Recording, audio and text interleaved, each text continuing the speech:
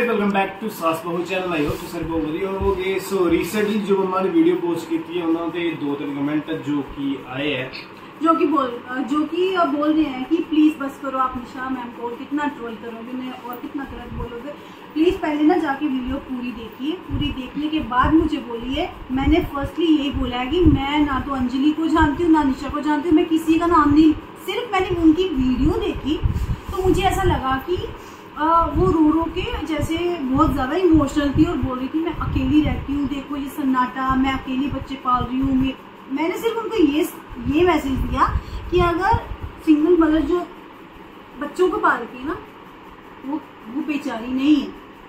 उसे रोने उसे रोने की ज़रूरत नहीं है। इतना बड़ा डिसीज़न जिस लेडीज़ ने ले लिया कि बच्चों को वो खुद हैंडल करेगी खुद पालेगी तो वो एक नॉर्मल थोड़ी ना होगी वो स्ट्रॉन्ग होगी। तो इसमें मैंने क्या गलत बोला? सो बाकी अगर किसी को गलत लगता है तो मुझे इस चीज़ को फ़र्क नहीं पड़ता क्योंकि मैं जानती हूँ मैंने क्या बोला क्या सोचा है और क्या मैं सोचती हूँ।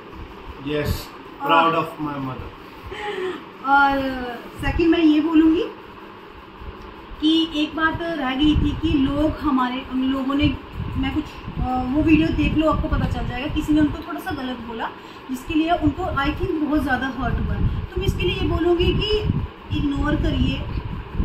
जो भी सिंगल मदर्स है इग्नोर करो कि दुनिया आपको क्या बोल रही है, क्या लांछन लगा रही है, आपके बारे में क्या बिचिंग करती है पीठ पीछे। इग्नोर क्योंकि लोग, लोगों का काम कहना होता है, लोग कुछ ना कुछ कहते हैं। उनको कोई ना कोई बात चाहिए। सो उनको अपने मज़े लेने दो। आप अपने मज़े लो ज़िंदगी के, अपने बच्चों के साथ। लाइफ एंजॉय करो।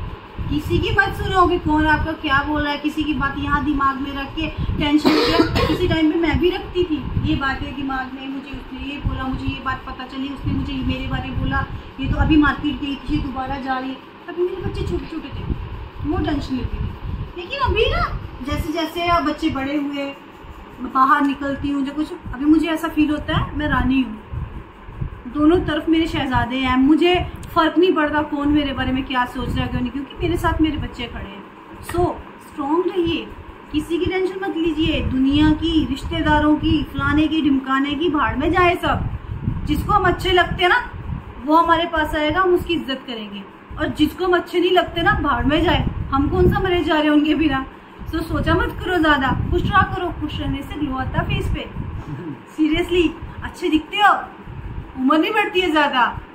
इसीलिए मैं खुश रहती हूँ। आप भी रहो।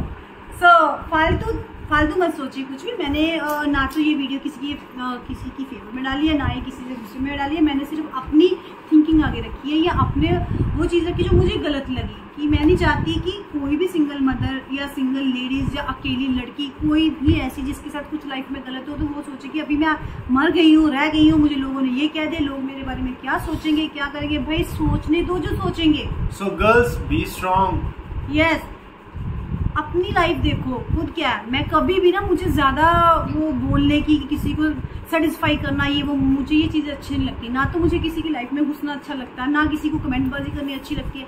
जो भी रियल होता है, वो वो उस चीज़ के साथ में सामने होती है। अदरवाइज़ मुझे नहीं मतलब है किसी की लाइफ से।